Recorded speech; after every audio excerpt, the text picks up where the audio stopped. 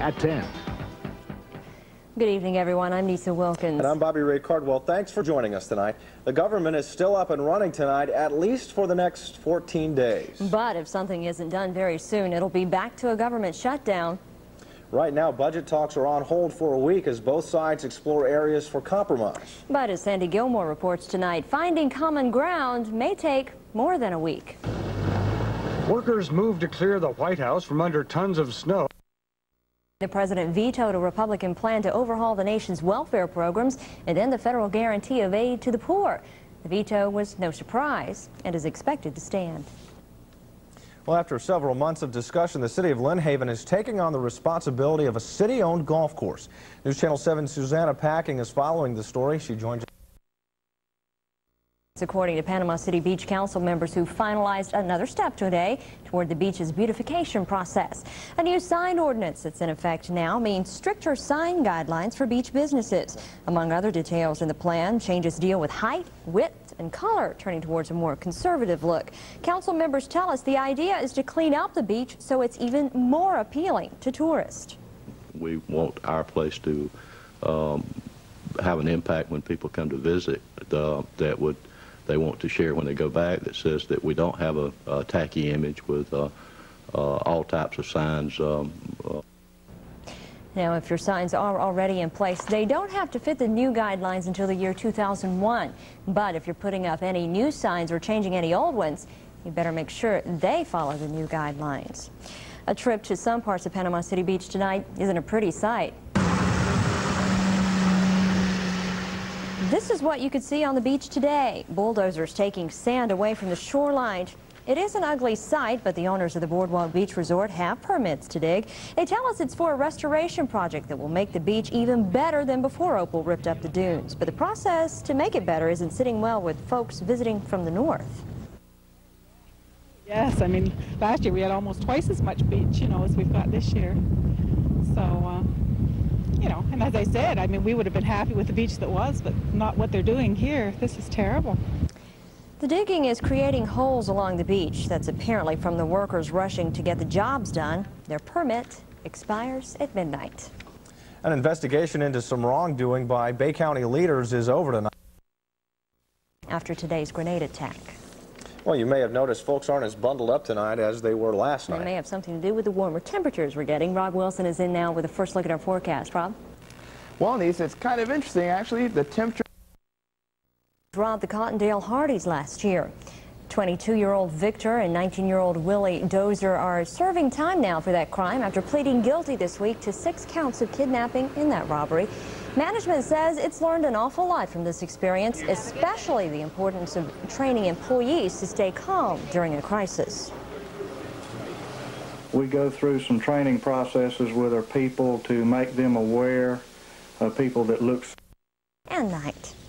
Florida leaders realize folks in our state want something done about the crime problem. So tonight, the state can boast of having the nation's first statewide coalition of law enforcement agencies and researchers, or called FLIRC. Its organizers say its number one priority is keeping Florida's streets safe.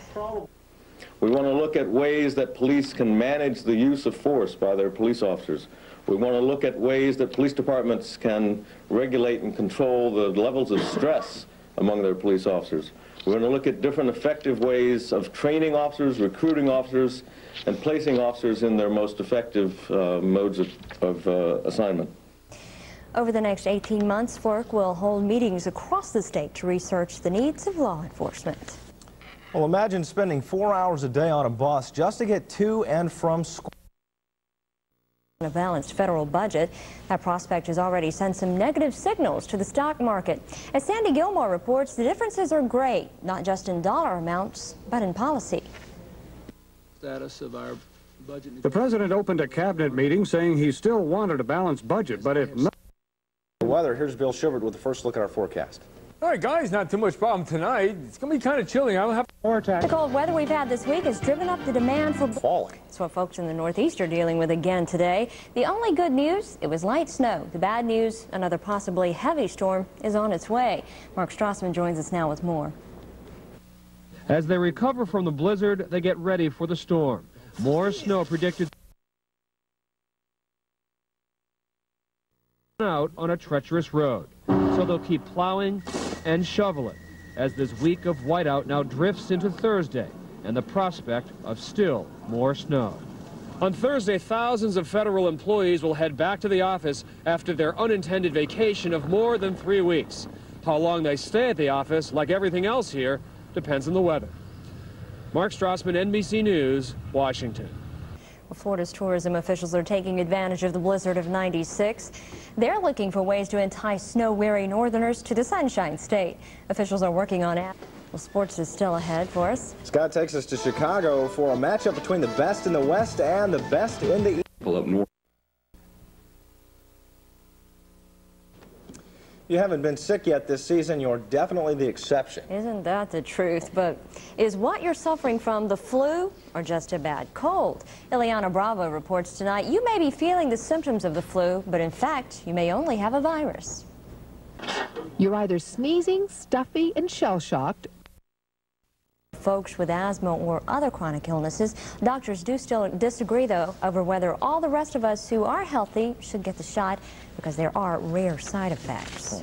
Well, up next, if you're afraid of getting way too much sun, but you're still a slave to fashion, we have one answer for you. Mm -hmm. And Bill Schubert answers your questions about the best time to go fishing. That's when we come back.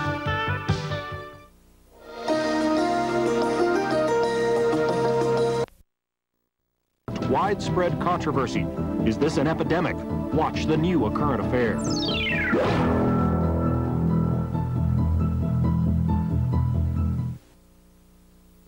Well, if you plan to do some fishing tomorrow morning, I'm not sure what's biting with 52. So Wilkins. And I'm Bobby Ray Cardwell. How safe do your kids feel at school? A new study shows kids are aware of crime going on in their schools, and they're also willing to do something about it. Teachers, administrators, and cops are trying to get kids involved in the fight against crime. And one study shows that effort is paying off. News Channel 7 Susanna Packing is following the story. She joins us now from the newsroom with more. Susanna? Well, Bobby Ray is concerned, that puts us right down the middle of some of the more dangerous metropolitan cities in the nation, Tampa, Miami, and Gainesville. That's all according to statistics from the FBI during 1994. Now, some victims of crime in Jackson and Houston counties are getting some good news tonight. Four thieves who stole from them, all from Cottonwood, have been caught. But two others are still wanted in connection with the more than 30 burglaries. Those home burglaries are all happened over the holidays, and since then, authorities in both counties have recovered some of the stolen goods. This morning, a few of the victims reclaimed a little of what they've lost, but others weren't as fortunate. I don't think I'll ever see any of it again. I don't see my jewelry here, and I'm afraid it's just gone for good. Well, authorities tell us they're lucky when they, they are able to recover any of the stolen goods, but they say all too often by the time they finish their job, the thieves are back on the streets committing the same crimes. A violent crime spree near St. Petersburg has left Mike Vasalinda explains the $80 million problem that has city and county governments fighting mad this year. By the time the bulldozers are done and a shopping... The follow-up storm dropped several more inches. Normal for a change uh, by the middle of next week, huh? Sounds wonderful. Just gotta sit back and enjoy it. Okay, it's, it's kind of cold outside. I've been telling you about this, though forecast. As long as those warm temperatures are on the That's way. Right. That's great. You betcha. Thanks, Thanks Bill. Okay. Up next in sports, we'll head over to Gulf Coast. That's where the Commodores get in their final game before their conference season begins. Scott has. Scott Rossman joins us now with our sports. A look at JUCO hoops. Yeah, it may be cold outside, but plenty warm inside the gym. The Gulf Coast basketball team beginning its. We're going into. Oh yeah. yeah. Thanks. Okay. Thanks a lot, Scott. Well, still ahead, it's a silent killer with most folks not realizing what's happening. We'll show you how to spot the signs of carbon monoxide poisoning. But first, get your numbers ready. Your Fantasy 5 drawing is coming right up. Good luck. These are the final days to buy sale-priced Imperial. Florida. Tonight's Health Watch is brought to you in part by Gulf Coast Eye Clinic, providing comprehensive eye care since 1973. They're calling it an epidemic of carbon monoxide poisoning up and down the East Coast. Every place hit by a lot of snow. Now, most are cases where folks were overcome sitting in their cars with the engines running.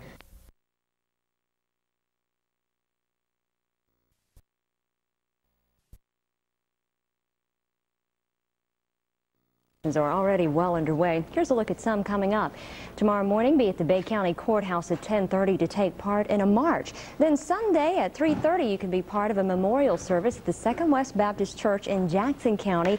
And the big day Monday, the celebration kicks off at 10:30 at McKenzie Park. That'll be a day-long festival packed with music and an awful lot of fun.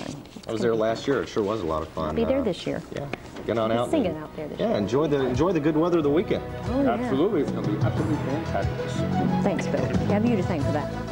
That'll wrap it up for us tonight. Have a great weekend, everybody. Get out and enjoy. We'll see you later.